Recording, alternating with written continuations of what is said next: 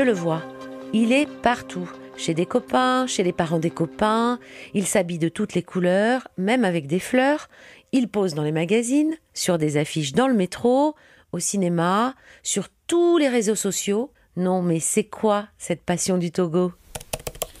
Si je commence mes recherches et que je tape Togo, ligne rosée, sur quoi je tombe? Ah, le monde.fr, adoré de la génération hippie, est aujourd'hui une véritable bête de mode. Eh. Vendu depuis 50 ans à plus de 1,5 million d'exemplaires. Sur le site de Elle, un jeune designer français de l'époque s'inspire pour ce modèle d'un tube de dentifrice replié sur lui-même. Si je tape Togo reportage. Aujourd'hui, je vais vous raconter l'histoire du canapé Togo dessiné en 1973 par Michel Ducarrois. Il se révèle aussi à l'aise dans le lobby de l'hôtel Standard à Los Angeles que dans les salons de l'hôtel particulier de Lenny Kravitz à Paris. Ah oui, c'est vrai, il paraît que Lenny Kravitz, il a plein de Togo. Et sur Instagram, on a quoi? Marion Gruber, alias Fringe and Frange. Ah oui, elle a 142 000 personnes qui la suivent.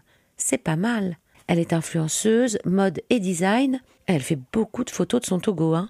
de sa maison, de sa vie avec les enfants. Tiens, elle habite dans les Landes, tout près de l'océan, ça. Et en plus, c'est ma région. Si je lui envoyais un petit message. Destination Andai. Bayonne. Quelques jours plus tard, j'ai pris le train, direction Saint-Vincent de Tyros, en pleine forêt des Landes. Et en sortant de la gare, je la vois, blonde, look californien et grand sourire. Elle m'attend sur le parking. Marion, on est dans ton 4x4. On est dans mon 4x4, tout à fait. Toi, t'as la Jeep. Ouais, je suis euh, Team Jeep. Tu sais, la petite blague avec cette euh, voiture, c'est que quand j'étais gamine, je m'étais fait une liste et j'avais mis quand je serai grande, j'habiterai en Californie, j'aurai un mari, un chien, deux enfants, bon j'en ai trois, et une Jeep. Check, check, check. Et on est sur des petites routes de campagne? Ouais, on traverse les forêts landaises. Et tout à l'heure, on va aller à Osgore, on va aller voir l'océan. Exactement. Salut le chien. Ouais, c'est un micro. T'es trop mignon, toi. On va s'installer? Ouais. Allez, on s'enfonce. Donc ce Togo, il est euh, couleur sable, Ouais. en velours. Et qu'est-ce qu'on a? On a la chauffeuse d'angle et on a un 3 places. Qu'est-ce qui représente pour toi le Togo? Déjà, quand on a acheté cette maison, on n'avait pas de Togo, mais on s'est tout de suite dit qu'il en fallait un. C'est une maison qui a une architecture euh, assez particulière, froide, un peu, euh, voilà, l'acier, tout ça. On avait envie de- d'apporter de, la douceur, de la chaleur, du confort. On a créé tellement de souvenirs dans ces canapés. C'est euh, nos premiers câlins avec les bébés quand ils sont nés. euh, je vois les films qu'on a regardés en famille, euh, tous lovés dans le canapé sous un plaid. C'est un genre de doudou collectif. C'est exactement ça. Le Togo est un doudou Familial. familial, ouais. C'est un canapé qui fait qu'on n'a pas peur pour les enfants euh, qui se cognent contre euh, un accoudoir en bois ou quelque chose comme ça. C'est presque un module de jeu en fait pour eux dans le salon. Je vais te montrer un truc, Marion.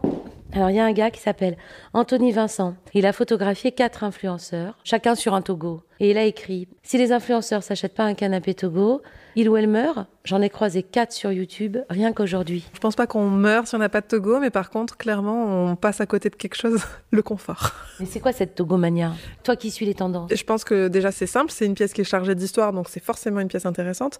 Et surtout, c'est une pièce visuelle. Donc pour nous qui créons des images, c'est très facile de jouer avec un Togo. Ça rend toujours bien en fait. Je trouve que le Togo a quelque chose de très féminin aussi dans sa posture, dans sa forme, dans ses plis. euh, On dirait de la peau presque. Tu vois ces très belles images de femmes qui sont euh, repliées sur elles-mêmes, qu'on montre enfin vraies, avec les plis du ventre, avec tout ça. Le Togo me fait penser à ça, moi. À ton avis, pourquoi il marche encore? Pourquoi il marche plus que jamais même? La raison est simple, c'est que euh, malgré tous ces rides, il n'en a pas pris une seule. Nos enfants, quand on leur demande ce que c'est, ils disent un Togo, ils disent pas un canapé. Mais c'est aussi un état d'esprit parce que j'ai l'impression que c'est une communauté de gens qui ont des Togos. Qu'est-ce qu'ils ont en commun? On est très cool dedans. Donc est-ce que le cool rend la personne qui est dedans cool? Mhm.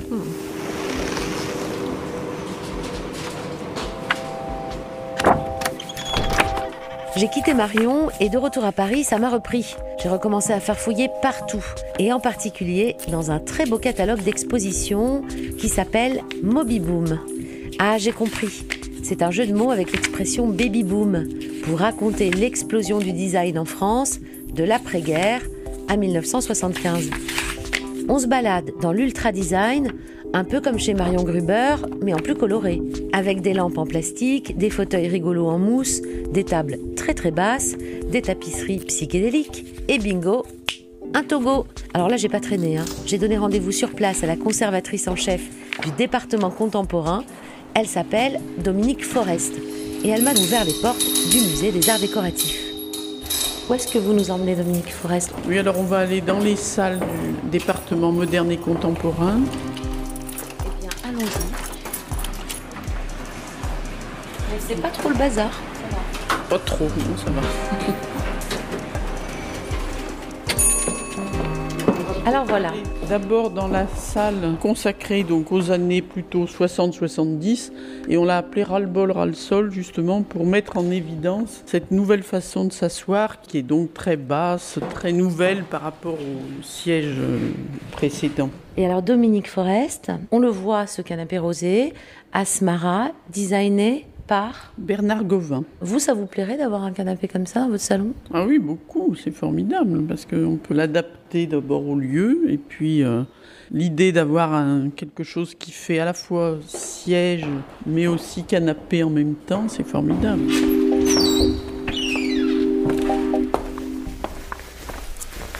Et puis arrive du Carrois, qui lui Oui. va faire le Togo, enfin le Cali, d'autres canapés, Oui, d'autres canapés. oui, et le Togo. C'est vrai que le Togo est maintenant très connu, il continue à être édité avec différents tissus.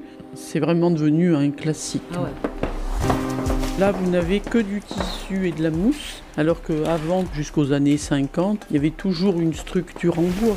Plus que permet aussi ce type de mobilier, c'est la couleur. Avec les plastiques, sont arrivés de la couleur beaucoup plus appuyée, et puis surtout l'assise très basse. Mais on est toujours dans une esthétique comme ça, euh, très nouvelle, liée à une nouvelle façon de concevoir la vie en société. On veut casser quand même les codes d'un mobilier classique de papa-maman, grosso modo.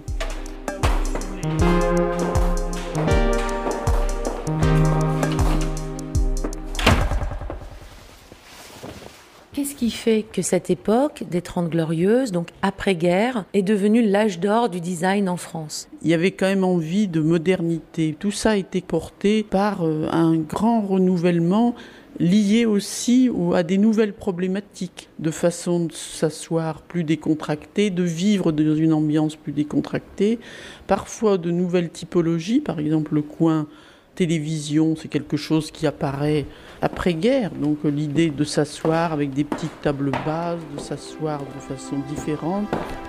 Les nouveaux matériaux. Ok. Dominique Forest m'explique qu'à partir des années 60, les Français ont envie de modernité et de décontraction. En 1973 arrive notre canapé Togo. Mais dans quel contexte? Il se passait quoi en France cette année-là? France Inter, il est 19h.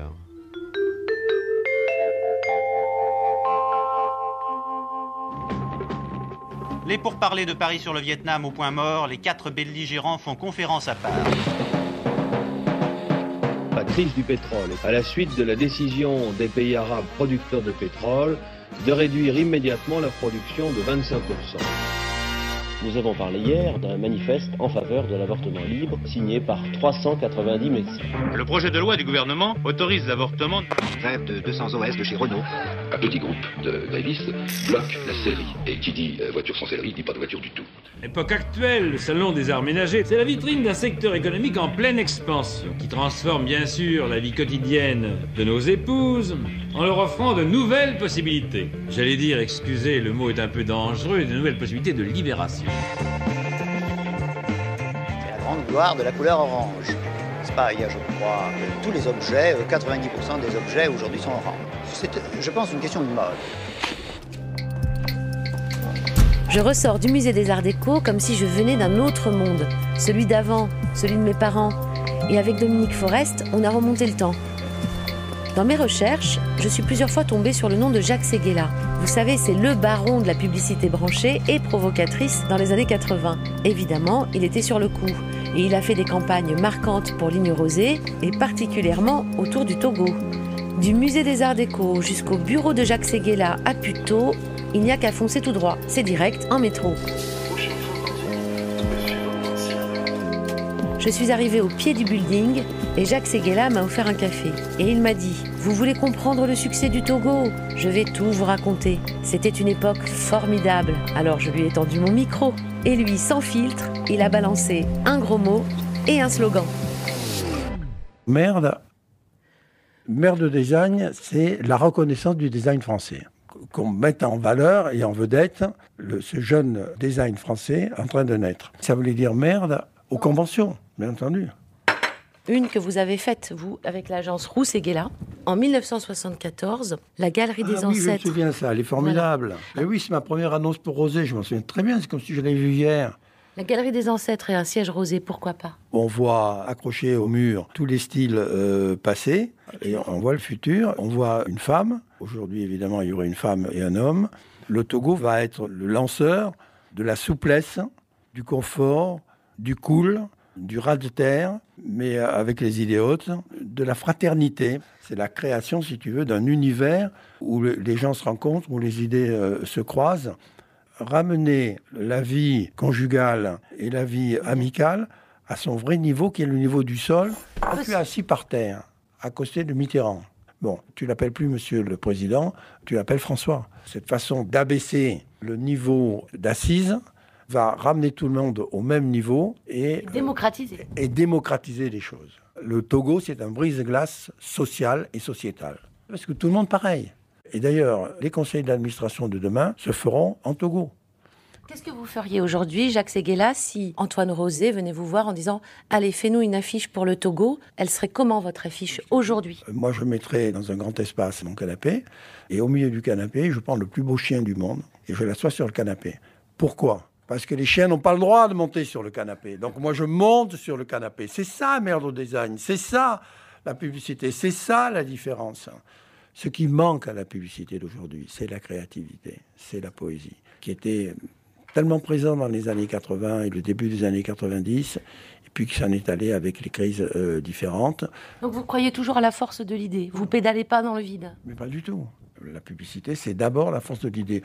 Chaque pub doit être un sérum de vérité et un sérum d'éternité. Quelle est la seule façon de créer l'éternité d'une marque? C'est de lui donner une âme. Parce que l'âme est la seule chose qui soit éternelle sur Terre. Donc mon métier, c'est donner une âme. Quelle est l'âme de Rosé? C'est à la publicité de l'exprimer. D'où le fait de mettre un chien dessus. D'où l'idée de casser les règles. Le Togo, c'est simple. Lui, il est né en 73. La pub, vous l'avez faite en 74. Il survivra sûrement après nous. Donc ça vous rend un peu immortel aussi. Exactement, bien sûr. Mais parce que il y a une âme dans ce canapé. C'est la nouvelle façon de vivre des jeunes. Après notre discussion passionnante, je suis restée bloquée sur cette phrase.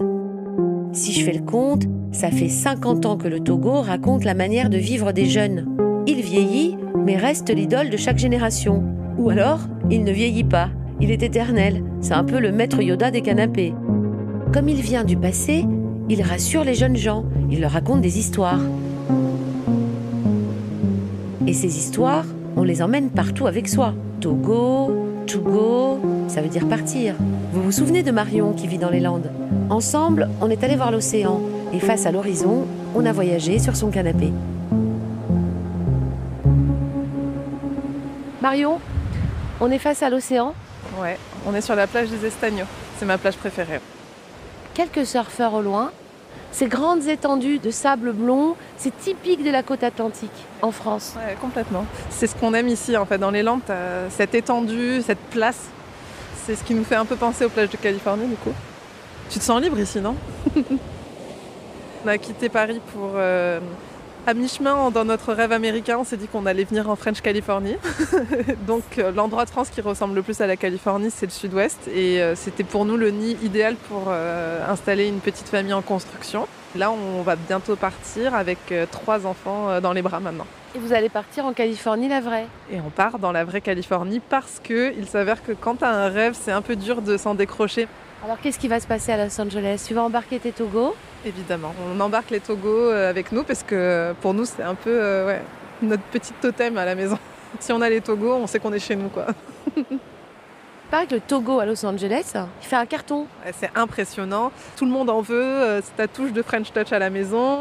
Vous, la petite famille, vous allez arriver à Los Angeles, vous arrivez avec un label France. Ah bah oui, tout à fait. Made in France, euh, voilà.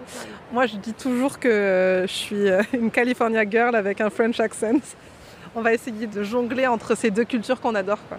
On est fan de cette grosse scène rock alternative qui euh, est née à Los Angeles.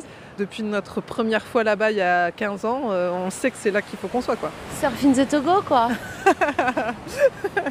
Les Togo, all the way to California. See you soon Let's go en Togo, direction la Californie. Et Marion, tu serais pas en train de nous vendre le rêve américain là? Tu crois que je vais rester à surfer sur internet pour mon enquête alors que je pourrais surfer sur la côte ouest? Voyons ça. Paris, Los Angeles. 12 heures de vol. Et là-bas, il paraît que c'est la Togomania. Alors on y va ou on n'y va pas?